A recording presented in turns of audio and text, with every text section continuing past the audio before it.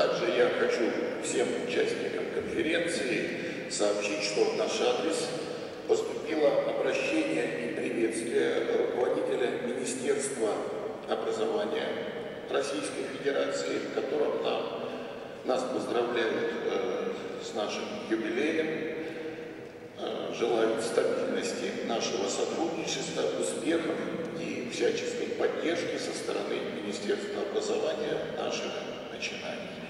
Послание подписано обращение подписано заместителем министра Кагановым. Спасибо.